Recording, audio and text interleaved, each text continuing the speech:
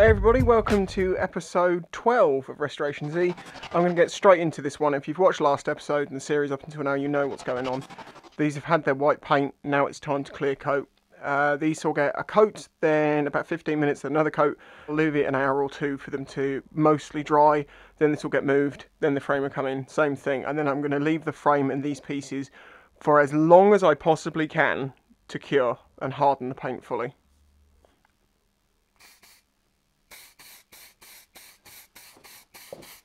Wait for a bit, do another coat.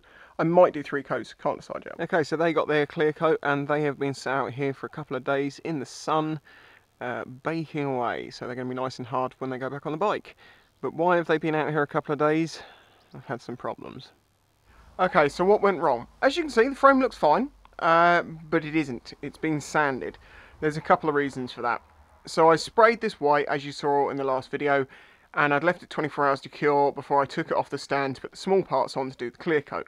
I thought it had cured enough uh, to do that and I put it onto a nice flat fresh piece of wood and it was just sort of pivoted between a point back here and the front edge here. I thought yeah that'll be absolutely fine. A lot of you are now going to probably know what I'm going to say. Yeah, it was a bit soft. It stuck to the surface and when I picked up the frame it went kick and it just took a tiny little piece of paint off from under here.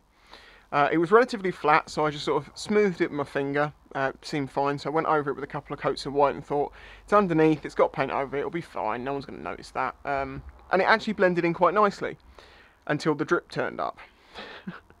I went slightly too heavy because I was trying to do it in two coats rather than going up a bit more. If you ever try and shortcut something, you're going to pay for it. But I also noticed a bit of roughness on some parts of the frame that wasn't really there in the primer. It seemed like I'd had some of it appear in one of the paint coats. So I was like, I'm not really happy with this finish. That's got a drip on it now. The best thing I can do to solve all these problems is to sand the frame back uh, to give myself a really good base to get a couple of nice layers of white on to, you know, gloss everything up. Well, I took some 800 grit and I started just gently sanding to see what would happen and something a bit weird was happening. The top coat of paint, which had had well over 24 hours to cure, was tacky and it was sanding off in these little tiny rolls. It just didn't seem right. Well, thankfully and very therapeutically, by just sanding over it, all those little rolls come off and what's left underneath is a lovely smooth flat finish. Um, so I'm guessing that one of the layers for some reason didn't properly cure. I don't know. Whatever. It's meant we are able to solve all the issues. I've already sanded this down mostly. I need to have a quick another once over it find any sort of rough patches I want to sort out. It has gone a bit thin in a couple of places, which highlighted to me that I hadn't got enough paint down in the first place. So this is actually probably quite beneficial that I'm doing this. Uh, I've got more paint, I've got panel wipes and sandpaper. I'm going to go over this to say, just knock down any rough areas I'm not entirely happy with, um, get any dust off that I've just put on with the panel wipes, and then I've got white paint to spray it again. So this has delayed the whole project by about four days or so because the weekend came in the middle and I needed a day to stop. Doesn't matter, these things happen. To expect things to not go wrong would be foolish, so let's just keep moving on. It should actually mean we have a much better paint result because I've done a lot more prep work now. It's got this, this layer underneath it.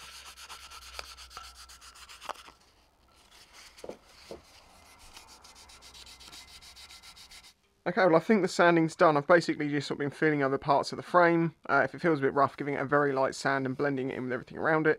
And now it feels nice and smooth, although I need to wipe it down with some panel wipes because there's some dust and stuff.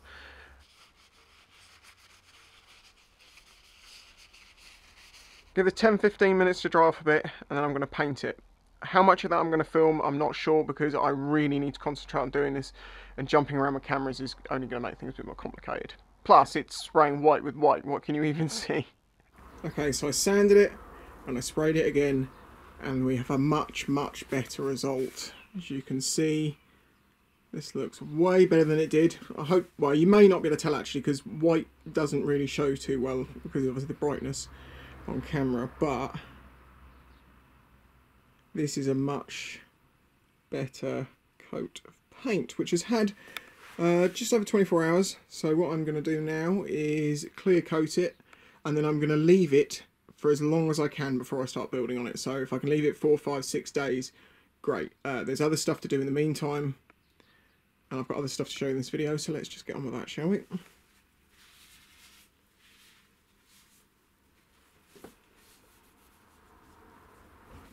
By the way, if you're confused as why this isn't rattling, these lacquers don't have balls in them. And no, it's not stuck in the bottom, they literally just don't.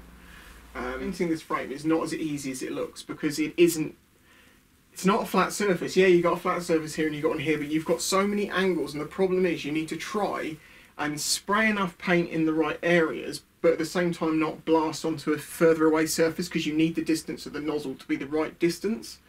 Um, and but there are some parts like where you can't actually get a direct spray on it. You kind of have to go through an angle, and then if it blows through, you end up with overspray up here and stuff. And maybe that's what caused it. I mean, I did I did paint it slightly differently, um, but I couldn't really tell you how I just did it differently. I just maybe it was more heavy. I think if anything, I let it run. Well, not run, but you know, there is a perfect place between not enough and just enough paint and too much paint, and finding that is difficult, especially when you're spraying white onto white.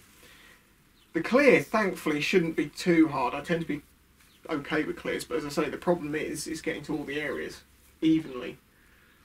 But I've got to do it, so be brave. Just hope it'll be okay. I'll cry if it goes wrong, but I haven't got a choice. Okay, I may have forgotten to press record earlier on, so I don't know how much I got on film. Sorry about that.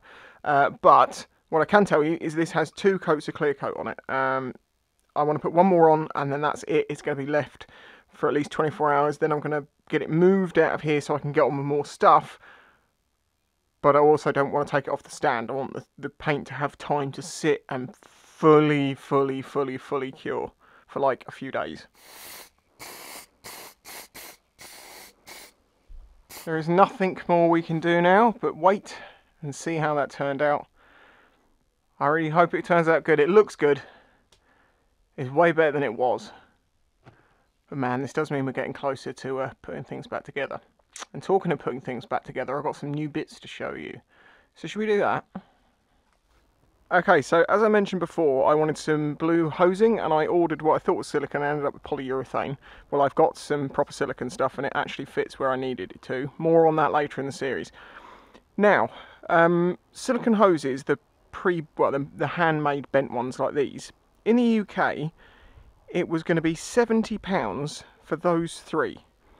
From China, I got the full kit, ignore the clamps, I actually bought these separately, I'm just making sure I got the right sizes, um, for £24, and they're really nice.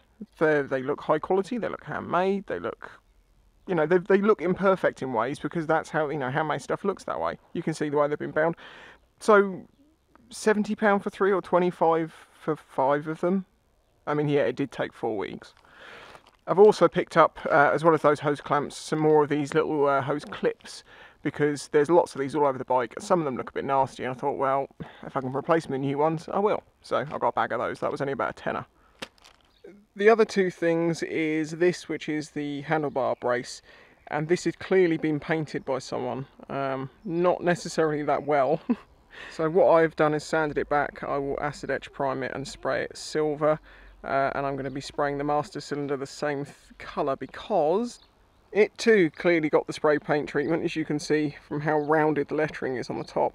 Um, yeah, I'm going to have to take that off as much as I can and spray that. Not ideal because it's obviously being around brake fluid it's just a problem. But I'll have to take it apart, clean it and just do the best I can but I won't need the garage cocooned for that so I can get on with other jobs when I finally move the frame. I can't tell you how excited I am to actually have some proper forward progression. Waiting on paint to dry is, well, it's like waiting paint for paint to dry. And after all of that, it is painted and done and clear coated. Um, I'm very happy with it. It's perfectly acceptable. As a rattle can job, it's fine. Uh, you know, and the most important thing is I wanted to make sure I had enough covering on there and protection to make sure it doesn't rust in the future. It is smooth and it's shiny as you can see. The only thing is it's a little bit rough in a couple of places and I think that's caused by overspray from a distance. So a little buff um, with some polishing compound, although completely unnecessary, will solve that most likely. So, uh, well in theory, I guess we can take all these. Hang on, let me think. Is there anything? No, I don't need to do anything else. These can come out. So let's have a, have a little look how well the bits of foil worked. See, because you can literally screw them into the threads.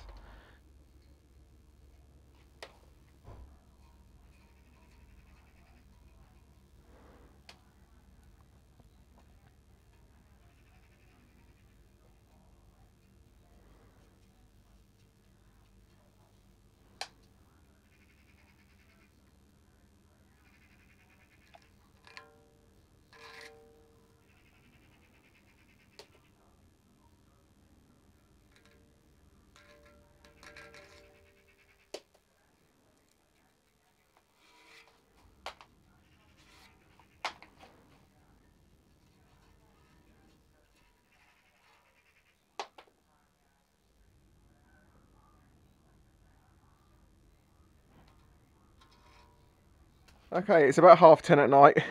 Everything is still looking good.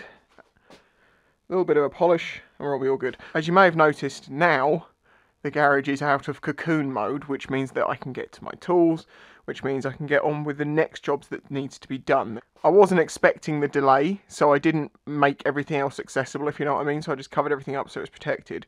But because the paint delays meant I couldn't get on with anything else. But now, yep, paint on here is still looking great. As you know, I've taken all those out.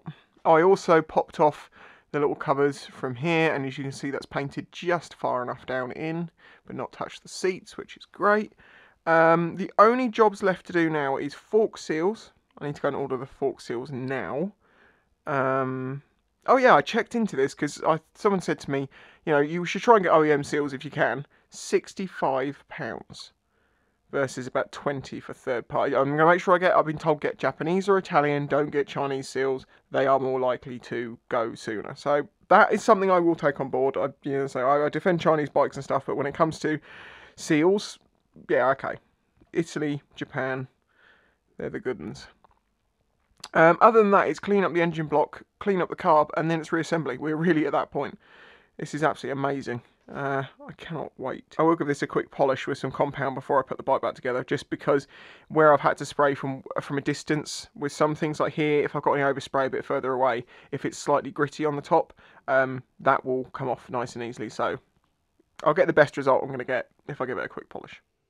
Apologies for the lack of video, it's very early in the morning. The sun is starting to come up, the birds are chirping, but editing has to get done. Uh, I've realised I've basically got to a point with this which is a good natural end because in reality what we've just done is repeat what we did in the last episode because of the problem with the paint. So I think it would be a good idea to keep this one short as a, a paint rectifying issue video and then the next one we can get on with the build. So let's end this one here. A massive thanks to the supporters of this channel, the people that watch the videos, like them, subscribe to the channel, the people who support me through Patreon who make this channel possible, and I should also include the people who support me through PayPal, but a couple of people have just basically said, hey, I want to chuck you some money to help you with the project, it seems pretty cool, and I don't, I'm not a member of Patreon or anything, so it's, you know, very cool of them. Thank you very much for doing that, I appreciate it. Um, but yeah, otherwise, much more of the same to come. This bike's going to look pretty amazing, I reckon. Catch you next time. If you enjoyed this video, please remember to hit the like button and subscribe to see future videos. This channel is made possible by the support of the audience. Please consider joining my Patreon to get early access to videos, questions answered in the monthly Q&A, your name on screen, and some exclusive content, all for as little as a dollar a month. You can also check out the links in the description to my merch and other ways to directly support the channel. Thanks for watching.